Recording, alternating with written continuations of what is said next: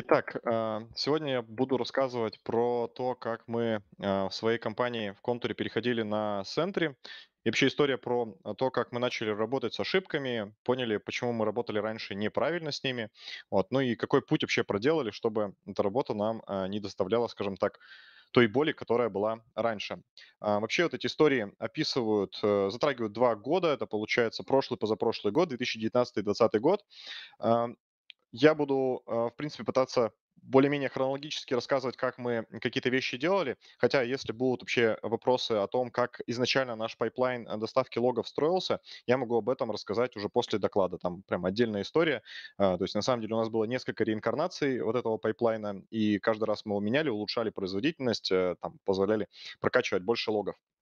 Вот если говорить про то, как pipeline э, у нас выглядел в 2019-2020 году, то в целом можно выразить его в некоторых цифрах.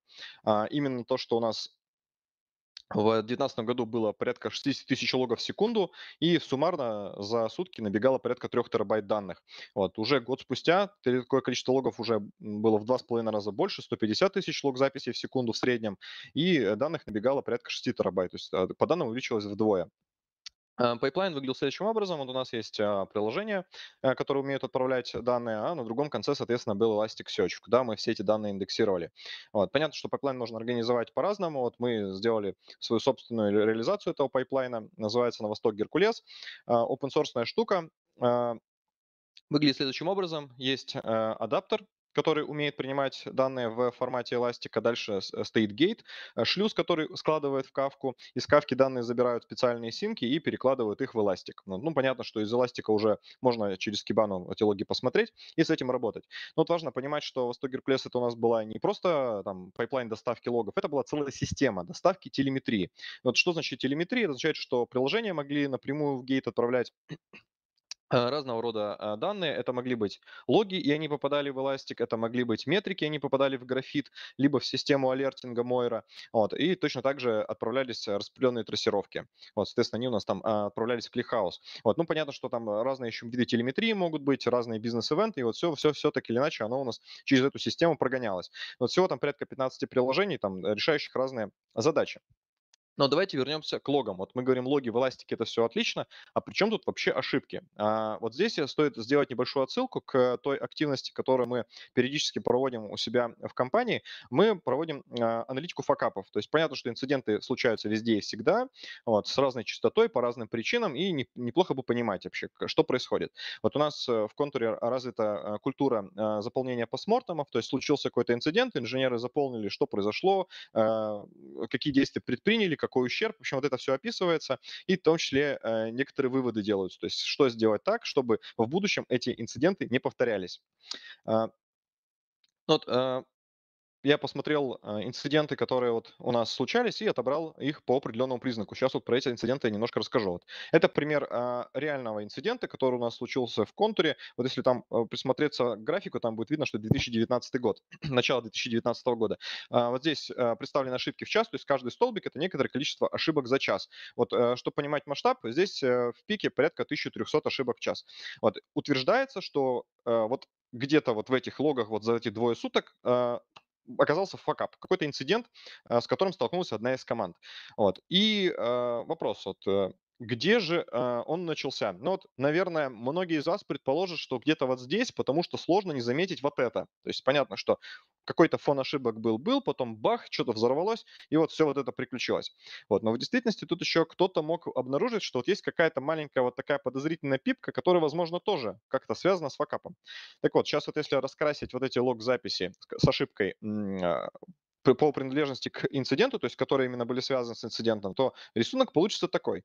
А, действительно, вот этот большой взрыв, это действительно относилось к инциденту. И вот маленькая вот эта пипочка, которая возникла, она внезапно тоже относится к инциденту. То есть э, первые ошибки, вот как раз это был э, вечер, а, уже рабочий день потихоньку заканчивался, вот первые ошибочки а, были, ну и там было мало, там, может быть, реплика была какая-то всего одна, может быть, там еще какие-то, ну, самое главное, что они потом прекратились и проявились через несколько часов. Начались вот массовые ошибки, это уже было ближе к полуночи, вот, и вот эти массовые ошибки продолжались, то есть видно, что сервер, с, э, по сути, не работал, Э, начались обращения в техническую поддержку утром рано, и как только обращение поступило, то там в течение там буквально получаса, может быть, даже меньше, проблема была решена. Ну, скорее всего, там дежурный инженер а, просто а, посмотрел, что действительно случилась проблема, быстро принял решение, там, возможно, откатить этот релиз, и все стало хорошо. Ну вот, в принципе, глядя на такой рисунок, можно было сказать, ну окей, там можно было смотреть просто в Кибану на все эти логи, на логи, на эти ошибки, и просто увидев, да, что их стало что-то много, э, принять решение, там, допустим, откатывать. Как бы да, действительно так можно было сделать, но в действительности все не так просто. Давайте посмотрим э, на статистику по другому инциденту. А, другой команды. Здесь тоже ошибки а, указаны а, в час, то есть каждый столбик это некоторое количество ошибок. К слову говоря, здесь пик уже порядка 8 тысяч ошибок в час. Вот. Да, здесь утверждается, что тоже вот на этом графике можно увидеть некоторую Э, некоторый инцидент. И э, традиционный вопрос, а где же все началось? То есть, возможно, где-то вот здесь, вот перед началом вот этого второго всплеска, может быть, где-то вот перед началом второго всплеска, тут как раз какой-то такой подозрительный столбик есть. Вот. Э, возможно, кто-то из вас скажет, что а вообще проблема где-то э, задолго до этого, где-то она в другом месте она случилась, потому что у ребят какой-то странный-странный фон наблюдается. Вот. Но если в действительности попытаться понять, а что же было в данный момент вот с тем инцидентом, о котором идет речь, и вот сейчас вот Uh, уже лог-записи раскрашены соответствующим образом. Вот те, у кого супер зрение и очень хорошее качество из картинки на мониторе, могут так разглядеть и увидеть вот uh, в, правом, в правой стороне у пика там какие-то uh, пиксели фиолетовые сиреневые. Вот. Но а, кто обладает рентгеновским зрением, вот увидит, что вот первая такая полосочка в один пиксель вообще наблюдается здесь. Увидеть ее в общем а, массе ошибок, если бы мы смотрели бы в Кибану, ну, вообще на самом деле не представляется возможным. Но самое это главное, что вопрос, когда же закончилась проблема? Дело в том, что э, только спустя сутки было обращение в техническую поддержку, а это уже реально проблема, то есть там нагрузили техническую поддержку, люди, э, вообще пользователи начали звонить, техническая поддержка начала работать. То есть действительно мы создали здесь какое-то неудобство и пользователям, и нашей технической поддержке. Но вот э, спустя какое-то время там пришел разработчик на работу и э, начал фиксить 12 часов, ну там в течение получаса закончил. Но вот вопрос, что делать в этой ситуации? То есть понятно, что э, вот как если в первом инциденте там можно было просто смотреть в Кибану и делать из этого выводы, вот, мы таки задались вопросом и решили поискать, а как решают этот вопрос э, другие компании. Ну вот э, вот эта картиночка из блога одной крупной российской компании, это вот, видимо, какой-то центр мониторинга. Здесь вот можно обратить внимание, что сидит куча людей, у них куча мониторов. Вот, ну, и, в принципе, да, мы могли бы, наверное, сделать точно так же, но вот э, сразу резонный вопрос возникает. А как это дело масштабировать? Ведь сервисов у нас много, пользователей много. Как? Ну, вероятно, как нашли э, решение вот в этой компании, они просто садят больше инженеров, дают им больше мониторов. Вот э, можно приглядеться и увидеть, что вот, вот этот экран большой на стене, и вот здесь вот он сейчас где-то вдалеке, то есть видно, что вот это огромный зал, э, open space, в котором просто куча-куча-куча инженеров сидят и смотрят там в графики, в логи, может быть, еще куда-то, непонятно, в общем, куда-то смотрят. Вот у человека, который вот здесь на центральном плане, вот у него можно количество мониторов посчитать, вот если я правильно посчитал, их 12 штук. Э, тяжко. Вот. Но а, как бы шутки шутками, а что с этим делать? Вот мы вот взяли и проанализировали факапы, и выяснилось, что если бы мы просто бы имели бы алертинг по новым ошибкам, то есть случилась новая ошибка, и мы бы одни уведомили бы инженеров каким-нибудь сообщением, там, не знаю, в чатик, на почту или еще как-то, то уже только вот сам вот этот факт позволил, позволил бы избегать порядка 10-15% инцидентов. То есть действительно это очень важный а, момент, который можно из этого сделать, вывод, который можно сделать. А, вообще подробнее про аналитику факапов я бы сделал бы здесь отсылку к докладу а, своего коллеги а, Леши Кирпичникова. Доклад называется «Аварии помогают учиться». Ссылочка на YouTube. Вот, потом можно будет взять эту презентацию и там по этой ссылке перейти. Вот, либо просто в YouTube вбить «Аварии помогают учиться» и, в принципе, там найти эту ссылочку это видео там, о том, как мы делаем аналитику факапов, какие выводы мы из этого сделаем. Вот здесь пока вот ровно про один единственный вывод, про вот эти вот новые ошибки и алертинг по ним, который действительно может помочь а, снизить количество факапов. Ну, вот и здесь как раз вопрос заключается в том, что нужно бы а, куда-то перейти, то есть найти этот инструмент. И, собственно говоря, вопрос э, того, почему мы вообще выбрали Sentry. Ну, самое главное, вот та киллер-фича, которая нам была нужна, там есть алертинг э, по новым ошибкам. Вот то, что вот прям было нам нужно. Вот. Плюс э, это тот инструмент, который можно поставить на своих собственных железках, самим за ним следить, с, самим там, решать, сколько данных в него должно поступать. Вот. Вообще, на самом деле, вот это может быть не очень очевидная вещь, но вот я подробнее расскажу, почему для нас это оказалось э, внезапно очень критичной э, вещью. Ну и, наконец, э, стоит отметить, что Sentry мы не просто так взяли. Дело в том, что у нас э, компания очень большая, проектов очень много, и очень часто там инструменты в проектах, они могут обгонять инфраструктуру, и инфраструктурные команды, и э, могут уже пробовать какие-то новые вещи э, сами и, соответственно, раньше. Ну вот и по опыту как раз использования в нескольких проектах, мы поняли, что действительно это вещь, которая может дать нам а, пользу. Но тут вопрос возникает о том, а как а, вообще продать этот инструмент а, нашим пользователям. То есть под пользователями я понимаю вот как раз команды разработки, которым вот этот инструмент в действительности нужен, но они, может быть, еще про это не знают. Вот здесь я для этого там, на нашей внутренней конференции, которая у нас проходит раз или два в год э, делал э, презентацию, делал демо, где показывал на примере реального факапа, на примере вот этого, кстати говоря, факапа, который вот уже слайды показывал до этого, как э, инструмент Sentry мог бы помочь. Сейчас вот я покажу небольшое короткое видео, которое я записал для этого. То есть вот это интерфейс Sentry. Вот есть некоторое количество ошибок, которые уже поступают в систему. У нас есть пока вот один релиз, в котором нет еще каких-то ошибок, а, потому что он был хороший, все нормально. То есть все, которые ошибки сейчас в системе есть, это фоновые ошибки, которые были когда-то раньше. То есть вот которая единственная ошибка сейчас в системе фоново наблюдается, она существовала раньше. Но вот ошибки продолжают, получается, у нас идти, потому что они накапливаются. То есть я, получается, взял вот эти логи, их засунул в систему, чтобы продемонстрировать, как оно будет работать. То есть они примерно в реальном времени набиваются. Вот сейчас где-то вот произошел у меня по плану релиз, и вот смотрите, вот уже как раз там э, алерт прилетел от центра. От центра мне летел, прилетел на почту, он прилетел очень быстро. Здесь написано, что за ошибка случилась в нашем приложении. Самое главное, это та новая ошибка, которой не было доселе.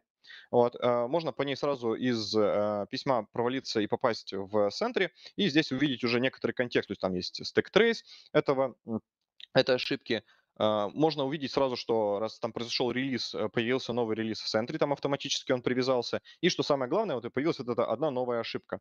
Ну, вот можно ее там посмотреть именно в привязке к релизу. В общем, вот это можно будет делать, а, ее в разных местах можно посмотреть, а, там в списке ошибок она сразу появляется, привязана к релизу. В общем, самое главное, что вот эту вещь мы увидели, и получили алерт буквально там через несколько минут, ну, в зависимости от того, как настроен алерт, на почту. В общем, вот это вот я демо показывал командам, и э, что очень здорово, действительно, это побудило многие команды вот этим инструментом начать пользоваться. Ну и самое приятное было, когда вот э, подошел э, человек из э, одной команды, вот. И он догадался, э, видимо, то ли по stack trace у, то ли по графику вот этих ошибок, что это относится к его команде, и сказал, что вот это, похоже, про наш факап было рассказано, и действительно, вот они были одними из первых таких early adopter ов, которые начали использовать э, Sentry. Но э, вопрос, а как вот использовать? То есть понятно, что там к Sentry есть SDK, вот, но мы внезапно нашим командам предлагали немножко другой путь. Вот сейчас я немножко про это э, расскажу. Вот почему, во-первых, мы не стали использовать центр SDK, который есть. То есть понятно, что он есть там для разных языков, там для Java, для .NET, там во многих языках, даже для фронтенда есть. Вот почему мы вот для своих бэкэндов э, не стали предлагать именно такой способ. Ну, во-первых, сам клиент работает по принципу fire and forget. Что это означает? Что если у вас в коде произошла ошибка, э, у вас там есть вызов в центре SDK, что вот залогируй эту ошибку и отправь в центре. Вот. И он, э, этот Sentry SDK пытается отправить в центре эту ошибку, и если что-то не получилось, ну, например, там endpoint в центре оказался недоступен. А, а вот в Sentry, на самом деле, такая ситуация довольно часто, и такое случается. А, он просто это событие продолбает, он просто его выкинет. А, неприятно, особенно когда у нас какие-то инциденты и ошибки могут быть очень важны, терять эту информацию не хотелось бы. Потому что вот в логах у нас, в логе там все пишется, у нас pipeline, который доставляет в Elastic, работает, а тут внезапно раз, и какие-то ошибки просто пропадают. Ну, вот. Это первая проблема. Вторая проблема – это то, что на самом деле мы получаем такой некоторый vendor lock. Почему? Потому что нам придется в наше приложение засовывать как раз вот именно этот Sentry с его вот этим библиотекой, с его не очень приятным интерфейсом, и с этим дальше как-то жить. Но вот вроде бы казалось бы, что это, ну, такая не очень, э, важная проблема, но нужно понимать, что у нас, э, в компании, э, тысячи микросервисов. То есть у нас там сотня проектов, у каждого проекта какая-то распределенная микросервисная архитектура. И вот такие изменения пришлось бы вносить, э, в каждый микросервис. А теперь представьте, что если мы вдруг решили там поменять версию Sentry, значит, менять версию SDK, или там, ну, мы решили бы отказаться вообще от Sentry, перейти на какой-то другой инструмент или напилить собственный, и все, как бы мы оказались в ситуации, когда нужно просто огромное количество сервисов перевыпускать, а нужно понимать, что там какой-нибудь может дремучий Legacy быть, который никто не хочет трогать. В общем, понятно, что проблем от этого может быть очень много. Ну и контролировать такой объем э, инфраструктуры довольно проблематично. И, наконец, э, отсутствие контроля за э, тем, что пишут пользователи, как они пишут, в каком объеме пишут. Потому что у нас вот есть Sentry, и мы его выставляем наружу, и команды могут туда заваливать очень много всего нехорошего. Об этом я еще подробнее буду рассказывать, потому что это прям э, боль-боль, которая э, происходит. Ну и на самом деле даже сейчас еще происходит, хотя мы Sentry SDK не используем. Вот. Но вопрос типа, а что же делать тогда? И, ну вот я уже не раз упоминал, что у нас есть некоторая такая труба для надежной доставки телеметрии. То есть мы на самом деле в наш Геркулес добавляем еще один синк, который умеет те же самые логи, ну, понятно, с фильтрацией по типу error и fatal, отправлять в центре. Ну вот, собственно говоря, такой э, способ он оказывается действительно хороший в том плане, что у нас какие данные идут в Elastic, мы из этих же данных можем брать. То есть от команд ничего не надо делать. Команду раньше писали логи в Elastic, они уже использовали нашу некоторую клиентскую библиотеку для нашей трубы. Все, теперь они могут э, спокойненько просто сказать, что да, мы хотим видеть наши данные в центре, мы, соответственно, там даем им доступ в этот сервис, и они им начинают пользоваться. Все замечательно. Вот. Казалось бы, все просто и хорошо, но не так-то просто. Э, нельзя вот просто взять и вот все ошибки от отправить в центре. Почему? Потому что э, некоторые препятствия на пути а, нам готовит как центре, так и э, реальность, в которой мы живем. Первое– это группировка ошибок. Ну вот э, классические ошибки в центре, которые вот приходят от бэкэнда, они группируются по следующим правилам. То есть там, если есть stack trace, группируется по stack trace, если есть exception, соответственно, можно сгруппировать по типу exception.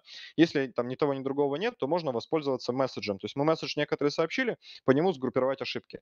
Но давайте рассмотрим некоторый пример, в котором там не было exception никакого, там был просто месседж. Вот это реальная лог-запись, которую там выдернул из логов одной из команд.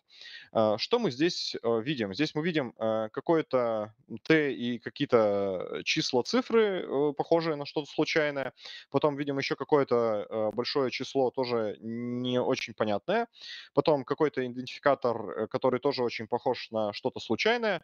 И, наконец, там дальше, да, какой-то текст. Вот. И важно понимать, что если вот эта ошибка а, происходит вот с разными вот этими случайными значениями, которые подставлены в этот месседж, то э, никакой группировки нам Sentry не даст. То есть каждая такая отдельная запись с, с отдельными вот этими случайными э, идентификаторами, возможно, это идентификатор сессии пользователя, это может быть идентификатор трассировки. Вот, к слову говоря, первое как раз там то, что начинается с буквы T, это э, Trace ID, точнее его префикс Trace ID. В общем, вот такие штуки, они не позволяют группировать нам по месседжу, и э, решение, соответственно, из коробки не работает. Поэтому Э, решается следующим, э, воспользоваться фичей Sentry, это так называемые отпечатки, фингерпринты. То есть мы говорим о том, что надо по-другому нам как-то Э, добавить метку вот этим всем эм, э, ошибкам, чтобы их можно было сгруппировать, чтобы у, у похожих вот этих вот сообщений был одинаковый. Но, к счастью, мы используем структурированное логирование. Это означает, что каждый вот этот компонент, который вот добавлен в эту строчку, это на самом деле часть некоторого шаблона. То есть шаблон, в который поставилось первое случайное значение, там второе, третье. Вот. И, соответственно, мы просто посчитали некоторый хэш от э, э шаблона, и, и, соответственно, ну или использовали даже как есть, как fingerprint. И таким образом он, эту проблему мы порешали. Вот, как бы все хорошо, можно двигаться дальше, а, но внезапно оказывается, что в проектах внезапно могут случаться инциденты, как мы видели, да, там такие всплески, и э, не всегда к этому может быть готов Sentry. А, вот чтобы как раз вот избежать вот таких вот внезапных пиков, когда просто проект э, захлебывается и отправляет большое количество ошибок, мы ввели тротлинг. Тротлинг получается на стороне нашей э, трубы доставки телеметрии, на стороне синка. Ну, ну там, допустим, ограничить можно нам 500 ошибок в минуту на проект, что если будет все, что будет больше, мы, соответственно, будем отбрасывать. Если ошибок меньше, соответственно, мы будем пропускать дальше. Вот, казалось бы, все отлично, мы настроили тротлинги, все хорошо, но оказалось, что есть плохиши. То есть команды, у которых, э, да, понятно, что там инциденты бывают, мы к этому относимся с пониманием, но есть команды, у которых просто фон ошибок, вот тот фон, который я показывал, да, там вот одна из команд, у которой прям просто, несмотря на наличие инцидента, там прям ошибок просто валит огромное количество.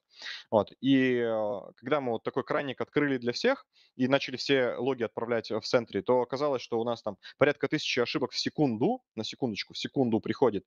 И для центра это оказывается слишком. То есть понятно, что в целом в центре можно было бы, наверное, как-то э, масштабировать под это, там что-то под, под, подпирать какими-то костылями. Но вообще нужно понимать, что такое количество ошибок для такого инструмента это реально очень много. И с этим нужно что-то делать. Поэтому мы пошли к командам и стали э, с ними общаться. Да, вот как бы вот я тут условно разделил ошибки на хорошие, плохие и бесполезные. Вот давайте попробуем а, разобраться, что же вообще такое ошибка. Вот есть такой тезис, что ошибка это лог-запись э, с уровнем логирования error или fatal. Вот э, там у нас есть чатик, в который можно будет задавать вопросы. Вот вы можете поставить туда плюсик, если вы прям согласны с, это- с этим. Э, прям несколько плюсиков, если очень с этим тезисом согласны. И, соответственно, э, какое-то количество минусов, если вы не согласны с этим тезисом. Вот, э, я сейчас дам, там, не знаю, вам минутку, чтобы вы могли в чатик вот это вот э, сделать. Если прям кто-то вообще против вот этого тезиса, можете там гневно что-нибудь написать мне. Вот, после э, доклада, думаю, мы это тоже разберем. Ну ладно, давайте. э, я двинусь дальше. Думаю, кто хотел уже свое выразить отношение вот к этому тезису, уже его выразили. Вот на самом деле я считаю, что это неправильный тезис. а, И правильный тезис такой, что ошибка– это то событие, которое требует реакции инженера. То есть все, что, а, на что должен реагировать инженер, это ошибка. Если на, на какую-то вот эту ошибку э, реакция инженера не требуется, то, соответственно, это не должно быть ошибкой вот именно в том виде, в котором отправляется там в центре или пишется в лог с соответствующим уровнем. А, Давайте э, не будем голословны и просто посмотрим на примерах, а, где действительно это происходит. Ну, вот самый первый пример. Была какая-то ошибка, потом успешный ретрай. Вот это пример а, взят из э, реальных логов, реального сервиса. А, Что мы здесь видим? Вот здесь есть такая sending request куда-то как- э, на, каку- на какую-то API-шку, а, Отправлялся он на какую-то там реплику номер 9. А, Это закончилась штука, запрос закончился ошибкой, кстати, вот как раз этот error в логах. Вот. Но обратите внимание, после этого была попытка отправить запрос на реплику 8, и она закончилась успехом. Смотрите, то есть у нас а, было несколько попыток, но в конце все хорошо стало. Окей. Давайте попробуем посмотреть дальше. А, Тоже пример, там вот выдернул кусочек лога из э, о- Григорий просят слайды вернуть назад. слайды вернуть назад. Да, отлистать слайд назад. О, вот так вот. Да, это сорян, что так вышло, я не переключился. Ну, наде надеюсь, тем не менее, что свое отношение к, э, уровню логирования error и fatal, что это ошибка, я думаю, все, э, оставили. Поэтому давайте, а, вернемся вот к этому. То есть смотрите, примеры разбираем. Ошибка и успешный ретрай. Ну, вот я говорил о том, что вот это логи от реальной команды. Здесь был запрос к некоторой. А, к этой API-шке был запрос сперва на одну реплику, он завершился ошибкой, потом был запрос на вторую реплику, и он завершился успешно. То есть, смотрите, типа, было не- несколько запросов к сервису, и в итоге все закончилось хорошо. То есть, отлично а, получилось. Теперь смотрите второй пример. А, Когда э, в системе оказалось, что у пользователя нет соответствующих прав. То есть, там был какой-то еще э, модуль нотификаций в веб-сервисе, вот, который там, соответственно, куда-то сделал запрос, но оказалось, что у пользователя нет прав, и там вернулась 403 ошибка. То есть, смотрите, у пользователя нет прав и ошибка. Как бы, ну, вроде бы казалось, э, что это ожидаемый сценарий, но, тем не менее, в логах это э, зафиксировалось как error, и, соответственно, там в центре это тоже упало как а, ошибка. А, еще один пример– это вот протухла сессия. Ну, то есть в какой-то момент оказалось, что сессия пользователя протухла, и, соответственно, там а, ее информацию мы нигде не смогли найти. Ну, казалось бы, что в реальном мире э, ситуация, когда сессия протухает, она вполне естественна, и такое может а, быть. А, Еще один пример тоже вот подобного рода. А, Не нашли данные в кэше, то есть там вы- вы- выскочил exception, потому что вот по такой-то организации мы не смогли там в кэше найти никакой информации. И там потом дальше просто эту информацию нужно было запрашивать из какого-то холодного хранилища. Но вообще как бы ситуация, когда там кэш э, протух, это нормальная ситуация, но тем не менее здесь была, э, был error и, соответственно, ошибка писалась и попадала, допустим, в данной ситуации в центре. Вот понятно, что таких примеров еще можно, можно, можно, можно много приводить. Вот еще, допустим, ошибка каких-то валидаций. То есть у нас вот были э, входные данные от пользователя, мы их проверили, оказалось, что, там, что размер данных, который присылают, слишком большой. И мы тоже записали error, хотя казалось бы, типа, валидация это стандартная э, часть нашего pipeline а, тем не менее, вот такая ситуация имела место быть. Вот. Э, бывают ситуации посложнее. Э, ну вот представьте, что у нас есть три сервиса. Э, API-сервис, backend-сервис и э, storage-сервис. Вот они как бы друг друга так вот типа, делают запросы. Но вот смотрите, если storage-сервис у нас отпал, э, по цепочке отпадает backend и API. Э, и в действительности вот в данной ситуации что происходило? Ошибка писалась в одном сервисе, в другом и в третьем. То есть вместо того, чтобы получить одну ошибку, мы аж получали целых три соответственно, в три раза больше беспокоили э, наших э, инженеров, дежурных инженеров там или разработчиков. Вот, э, в общем, таких вот примеров, примеров накапливалось очень много-много-много. И вот мы поняли, что давайте попробуем их классифицировать и понять, что с этим делать. Э, и классификация оказалась такая, что вот первый вот сервис самостоятельно поборол ошибку, например, да, в случае вот с AppTrime. Если сервис поборол, это не ошибка. Да, там можно а, там какой-нибудь warning написать э, о том, что да, там какая-то реплика чувствует себя плохо, или сделать что-то еще об этом чуть подробнее. А, вот. Э, это может быть часть сценария. Ну, типа там пользователя нет прав или там кэш протухает. Это, это в принципе, нормальные вещи, такое бывает. Вот. А, вообще проблема не у нас, да, то есть когда вот у нас несколько сервисов, в нашем сервисе все хорошо, но мы делаем запрос в сервис, который ломается. Вот сервис ломается, вот в нем, по идее, должна быть эта ошибка. Нам, по идее, именно у себя делать ошибку нет особого смысла, потому что алерт по этой ошибке для нас не даст ничего, потому что на эту проблему должны реагировать разработчики того сервиса, к которому мы ходим. Но вот что делать? Вот я говорил о том, что да, там может быть поменять и уменьшить э, уровень логирования, но вообще на самом деле есть э, подход, который говорит о том, что а давайте просто использовать метрики. Есть два метода, э, use метод и red метод. А, но ссылочка на него, на один из них, на use метод как раз э, внизу э, в футере этого слайда. Э, но он как раз вот буковка вот use это типа utilization saturation errors, not errors, да, а red это rate, errors и duration. Ну, вот, типа то, как должны строиться метрики, то есть что они должны фиксировать. И в данном случае в обоих вот этих методах как раз есть история про ошибки. То есть ошибки мы должны просто уметь фиксировать. Но вот Второй способ, который помогает нам делать это, использовать распределенные трассировки. Раз у нас микросервисные, э, микросервисы, между ними взаимодействие, соответственно, мы, если трассировки такие строим, и где-то у нас в цепочке происходит ошибка, мы как-то можем ее целенаправленно в целом наблюдать и ее э, отслеживать, не прибегая к тому, чтобы спамить э, огромным количеством ошибок на всех. Ну окей, про вот рефакторинг логирования я уже немножко говорил, что типа самый простой путь это вот поменять эрроры, вот такие эрроры на ворнинги. Э, плюс вот этого то, что это сделать очень быстро. Ну, то есть просто берем, находим везде, где у нас эррор, и там смотрели, да, действительно, это не похоже на ошибку, поменяли на ворнинг, все стало замечательно. Вот, но а, важный нюанс, качество кода при этом не поменяется. То есть от этого то, что там мы замаскировали эрроры ворнингами, от этого они не перестают там э, э, быть. Э, есть более сложный подход, э, так называемый итеративный подход, э, когда мы берем топ ошибок, которые у нас сейчас прям очень часто происходят.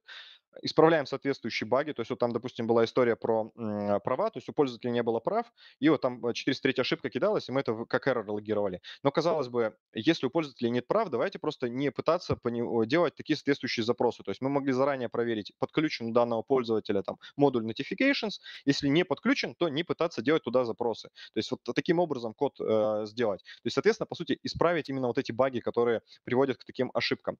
Вот. Ну и если вот у нас еще ошибки остаются, мы возвращаемся в начало и вот получается таким циклом а, постоянно улучшаем, улучшаем, улучшаем код. Да, код улучшается, это действительно становится очень здорово, там ошибки прям э, помогают, вот эти вот нахождение вот таких неприятных ошибок помогает исправить баги в коде, но нужно понимать, что это очень медленно происходит, потому что это борьба с техдолгом, техдолг, он э, далеко не всегда, там, э, его борьба с техдолгом на первом месте в плане у разработки, вот, и что еще важно, помимо того, что это, в принципе, процесс довольно медленный, он может продолжаться до бесконечности. Почему? Потому что новые баги появляются в системе, там э, некоторые очень сложные баги, с ними очень долго там и сложно ковыряться, там какие-то могут быть гейзинг-баги, которые то происходят, то не происходят, их очень сложно отлавливать. Вот. И здесь важно понимать, что типа тот профит, который ты получишь от вот этих усилий, и uh, сколько вот этих усилий ты заложишь. То есть должен быть какой-то некоторый, некоторый баланс между этим. Вот, условный принцип Паретта, которым можно здесь руководствоваться. Ну вот окей, давайте вот это мы э, начали делать, все вроде бы замечательно, но нет. Реальность, она немножко сложнее, и проблемы уже даже на этом этапе могут возникать. Почему? Потому что ошибки могут оказаться в общих библиотеках и клиентах. Вот пример э, такой, э, ошибки, которая происходила в клиенте к какой-то там хранилке у нас в контуре, а, но она происходила на клиентской стороне. Что мы здесь видим? Здесь видим, что произошел error. А, здесь видим, что не получилось прочитать какой-то кусок с каким-то идентификатором э, с какого-то сервера в каком-то дата-центре по какому-то смещению. А, Почему? Потому что там вот э, connection failure, да, у нас. Окей, вот что из этого э, пользователю, вот кто создал этот код, а, имеется в виду клиентский код, который вот э, там пи- пишет и делает запросы к, это- к этому серверу, что для него полезного из всего этого можно сделать? Какой вывод? Про то, что какой-то кусок с каким-то идентификатором? Нет. Про то, что какой-то там сервис э, на каком-то конкретном тачке не отвечал? Нет. Единственное, что он может для него быть полезным, это то, что проблема была в какое-то время. Вот это действительно для него полезно, все остальное для него совершенный мусор. И в этом плане как раз а, нужно как-то убедить людей, которые делают другие библиотеки, о том, что, ребята, давайте понизим уровень а, логирования, уровень с error, там, до warning, допустим, для таких ситуаций, потому что команда, она не сможет никак э, вот с этим, а, с этой ошибкой что-то поделать, и раз она с этим ничего не может сделать, то давайте и не будем напрягать их дежурных и писать а, такие логи с уровнем error. Это прям проблема, потому что здесь надо про- проявлять все свои communication skills, потому что нужно общаться с разработчиками, там, которые в другом отделе находятся, которые делают другой сервис. В общем, тут э, на всяких интеграциях, тут, в общем, прям это то, что нужно прям с людьми разговаривать, разговаривать. И прям ртом ходить, разговаривать. Это для, иногда бывает проблематично. Вот, ну ладно. А, Здесь на самом деле все не ограничивается этим, потому что а, вот когда мы говорим о том, что там могут быть библиотеки, да, а вот можно идти, идти в чужой сервис, и там проблема, а э, ошибки-то у тебя валятся. Вот. И э, здесь может быть такой вот э, интересный момент, что у разных команд может быть по-разному развиты инструменты и практики прокачаны по-разному. И может оказаться, что у нас все хорошо, и мы прям сразу все отлавливаем, но команда, от которой мы зависим, от сервисов, от которых мы зависим, они, э, соответственно, такого уровня качества не предоставляют, и они, допустим, за такими проблемами не следят. И получается, что мы будем узнавать о проблемах в чужом сервисе раньше, чем это узнает чужая команда, другая команда. Вот. Такое, такое тоже имеет место быть, и ну, с, с таким, как правило, очень сложно что-то делать, разве что, не знаю, прийти на стажировку там другую команду. Вот благо, что у нас, в принципе, более-менее в компании развита горизонтальная мобильность, когда можно прийти в другую команду, там э, им починить все, сказать, все, отлично, теперь у все хорошо, вернуться в свою команду и, наконец, там э, раскрутить всякие гайки, и чтобы стало э, нормально в плане именно ошибок, потому что там мы починили и стало лучше работать все. Там другая команда стала лучше замечать э, какие-то проблемы в своих сервисах. Ну вот, какие результаты из э, всего этого мы получили? Ну, во-первых, э, некоторые команды, э, они действительно ушли на ситуацию с нулевым входом ошибок. То есть, смотрите, если мы такой инструмент даем команде перфекционистов, от них можно ждать, что прям они реально, они вылежат свой код, и все ошибки оттуда уйдут. Им, у них не будет никаких алертов. Ну, понятно, что там могут ситуации какие-то с багами быть, которые там с новым релизом пошли, там действительно центре будет по делу. Вот. Но самое главное, именно какой-то вот фон вот этих мерзких неприятных ошибок, он у таких команд исчезает, и это действительно очень здорово. Вот. Могут быть ситуации, когда у команд остается какое-то некоторое количество вот этих ошибок в день. То есть речь именно про сгруппированные ошибки. Понятно, что там индивидуальных ошибок может быть много, потому что они могут быть у разных пользователей там, или еще по каким-то параметрам. Ну, вот реальный пример. Команда. У них было 100 тысяч ошибок в день, они на первой итерации свели это количество к 300 а, ошибками в день, и вот потом, вот после вот этих вот нескольких итеративных подходов э, э, разборов багов, они сошли к тому, что у них там порядка 1 10 ошибок а, в день в центре прилетает. Действительно, это успех, вот прям это история успеха.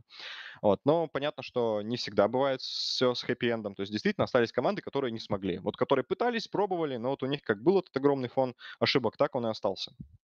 А, Что в итоге вот с этим всем получилось? То есть я вот говорил о том, что вот у нас а, там большое количество логов прилетает в систему, э, в нашу трубу телеметрии.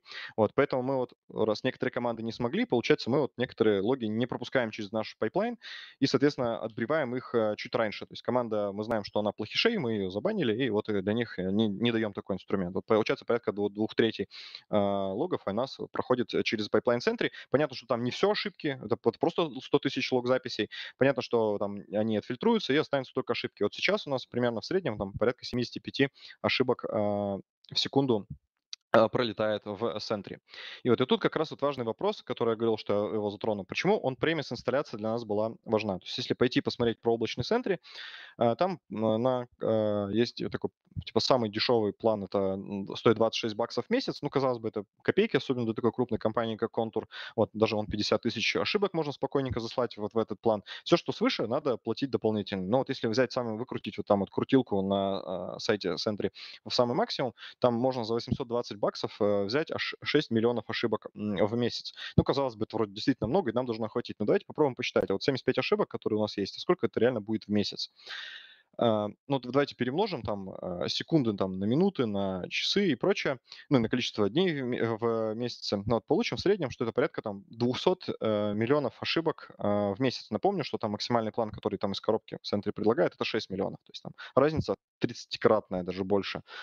Ну и как бы понятно, что никто не готов будет платить э, зарплату нескольких э, инженеров э, в, в счет просто отдавать вот этот облачный хостинг. Лучше за эти деньги развивать собственный инструмент там, и развивать собственные командные практики, инструменты.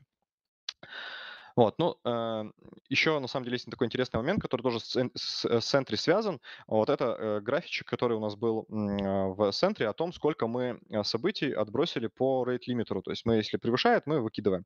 Ну вот был инцидент, когда вот этот столбик, э, мы отбросили 300 тысяч ошибок за 3 минуты. То есть представьте, если это был бы облачный Sentry, и мы бы в него столько ввалили, ну, при условии, что там канал, он к Sentry, который тянется, он действительно столько смог ему проживать за короткий промежуток времени. Но самое главное, вы понимаете, как бы вот такой любой инцидент, это сколько именно в деньгах с точки зрения именно платы за вот этот сервис может э, принести. Как бы действительно это печально.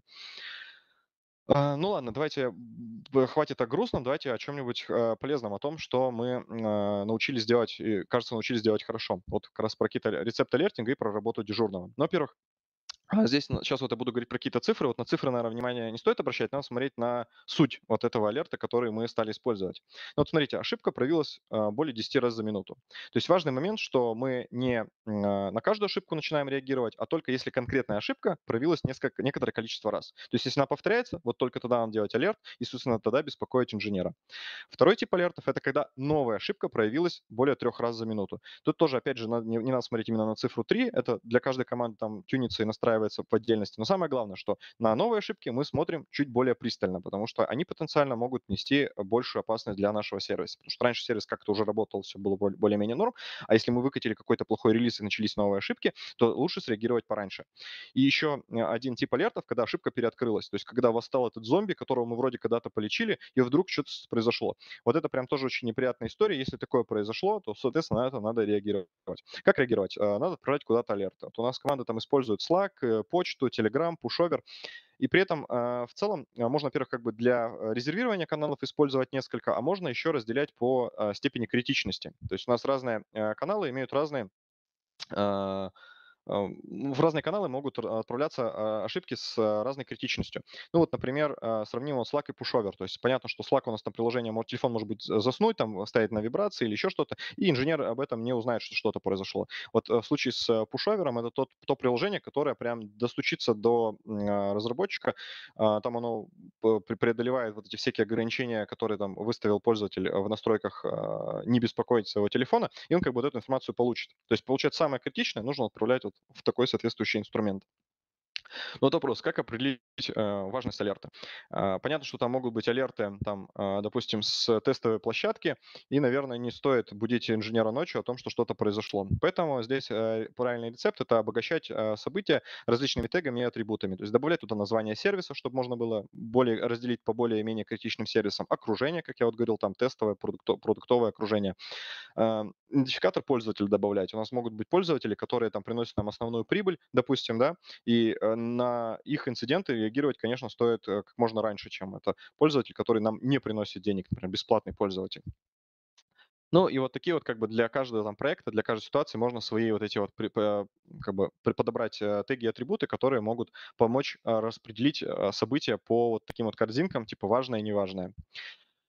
И если в целом смотреть на инструментарий дежурного, а, то есть если раньше у нас а, в 2019 году а, основной способ следить за сервисами был это вот алертинг по метрикам от Мойры, а, и активный мониторинг, то есть реально разработчик сидел и в момент релизов смотрел в Kibana на предмет, не появились ли там какие-то новые логи, или не стало там слишком много записей приходить.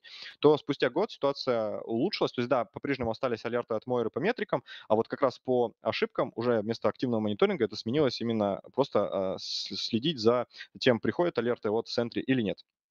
Вот, ну, наверное, это можно было бы даже закончить и сказать, да, все, мы проделали хорошую работу. Но нет, давайте как бы проверим, а стало ли лучше нам действительно от того, что мы добавили новый инструмент и э, как-то что-то поменяли. Ну вот я взял сейчас здесь э, тоже еще один подход к аналитике факапов. Э, он э, довольно такой свежий, то есть это полгода взятый 2019 года, и вот будет посвежее. Ну вот э, у команды случилось за вот этот, за эти полгода 26 инцидентов, к сожалению, там три постмортома не были заполнены. Э, три инцидента они поймали сами по алертам, по метрикам. Один поймали случайно, но это примерно как, типа, разработчик такой зашел на продовую площадку, решил там посмотреть какие-нибудь там метрики или там э, логи почитать. И бах, совпало так, что он как раз оказался в тот момент, когда что-то пошло не так. Вот. При этом 19 инцидентов поймали не сами. То есть это сообщили либо другие команды, либо это вообще, не дай бог, от пользователей пришло. Вот. И э, как раз вот поизучали вот эти факапы и выяснили, что то, что поймали случайно, и 9 из 19, которых не поймали сами а друг, э, каким-то другим образом, можно было бы поймать, если бы был уже инструмент в центре. У этой команды на тот момент его еще не было. Что изменилось на следующий год? То есть тоже взят а, период э, полгода. Инцидентов здесь поменьше, но это, это, это как бы с центром, я думаю, не сильно связано. Вот. Но тем не менее, вот 19 инцидентов, 5 а, поймали случайно, 6 не поймали сами, 5 поймали по алертам по метрикам, 3 поймали по алертам по ошибкам. То есть действительно уже Sentry нам помог, прям действительно были примеры, когда Sentry помог в локализации проблемы. Вот. Но вот неизвестно, конечно, сколько мы а, инцидентов вообще смогли избежать, потому что как бы, ну, вот сейчас уже сложно это понять. Sentry был, вот он нам помог с этим разбирать, э, разобраться. Но смотрите, оказалось, что вот часть из этих вот э, инцидентов, часть из этих инцидентов, ведь можно было еще а, поймать с помощью Sentry, если бы как-то там подтюнили а, логи или подтюнили алерты в Sentry и смогли бы поймать. То есть действительно работа еще ведется и есть что улучшать, поэтому я думаю, там еще пройдет э, какое-то время и можно будет там провести еще серию еще аналитики и посмотреть, а как изменились вот именно распределение этих факапов по вот этим ситуациям. Но стоит отметить, что действительно нам Sentry помогает, и еще мы находим места, где Sentry действительно нам помогают. А, понятно, что вот эта вот история про то, что, да, типа, мы такой инструмент смогли на уровень компании затащить, да, там очень много команд, большинство команд стало этим инструментом пользоваться, все замечательно, но вот мне, допустим, как там человек, который занимается инфраструктурой, то есть я делаю, создаю сервисы, инструменты для других команд, э, какие выводы вот мы сделали, как вот инфраструктура? Ну, вот первое, что инфраструктура не должна быть по умолчанию для всех. Вот как раз вот та история, когда мы вот открыли краник и начали писать все-все-все ошибки в центре, центре, центре у нас захлебнулся, и мы стали разгребать вот это все. То есть вот этот вывод действительно важный, что мы должны подходить и э, с командами это делать осознанно. То есть команды должны понимать, какой инструмент и зачем они сейчас будут использовать. Второй вывод о том, что вот эти изменения, которые мы хотим от команд, вот эти вот там вот улучшать логирование и прочее, что это действительно процесс очень медленный, э, не быстрый, э, и важно именно терпение, важно то, что там приходить, командам помогать, там консультировать их, там, не знаю, инструкции для них писать. То есть действительно здесь нужно проявлять эмпатию и, э, там, не знаю, опять же, проявлять все свои communication skills, чтобы действительно э, улучшать э, жизнь команд и, соответственно, улучшать совместно жизнь. То есть и командам станет легче, потому что они получат новые инструменты, и вам как инфраструктуре получится там улучшить качество э, того, как делают это команды, и таким образом там снизить нагрузку, например, на инфраструктурные сервисы, на инфраструктурные инструменты. Вот. Ну и действительно стоит отметить, что инструмент постмортема, заполнение постмортема фонд действительно очень классный. Э, во-первых, да, он помогает вытащить какую-то аналитику и потом с ней и поделиться, и там действительно какие-то полезные инсайты могут быть. Ну и самое главное то, что оно улучшает а, качество а, наших сервисов, потому что мы итеративно вот эти вот аналитику проводим, и появляются какие-то новые-новые инструменты. То есть многие вещи, которые мы делали раньше и делаем сейчас, они вот как раз в том числе построены на вот этой аналитике.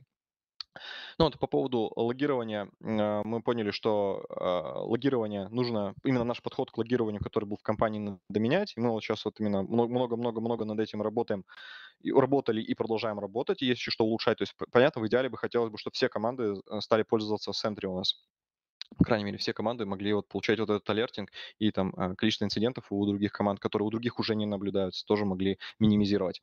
Вот. Ну и в целом, да, вот про Sentry можно много говорить очень э, всего разного, то есть понятно, что инструмент, с одной стороны, огонь в том плане, что он дает киллер-фичу, с другой стороны, он очень плох в плане эксплуатации его, там очень много боли доставляет, но вот когда вот мы такую трубу перед ним ставим, когда мы там а, его защищаем различным тротлингом, а, там как- как-то его там пытаемся э, пылинки с него сдувать, он вполне себе ничего, и вот э, здесь он у нас показал вполне неплохо.